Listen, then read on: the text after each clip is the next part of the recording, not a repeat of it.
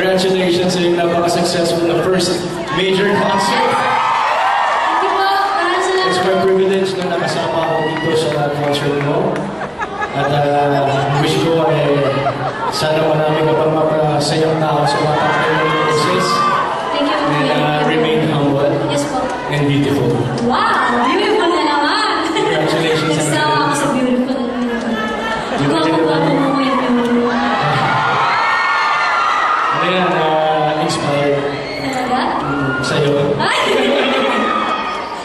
naman. Gusto ko magpasalamat sa iyo, Kuya, dahil ah... Yes, ate.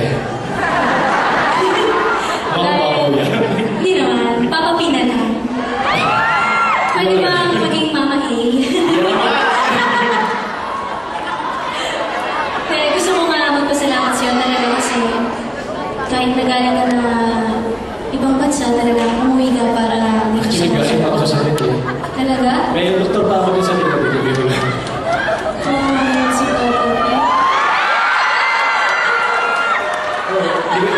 Bíblia quem diz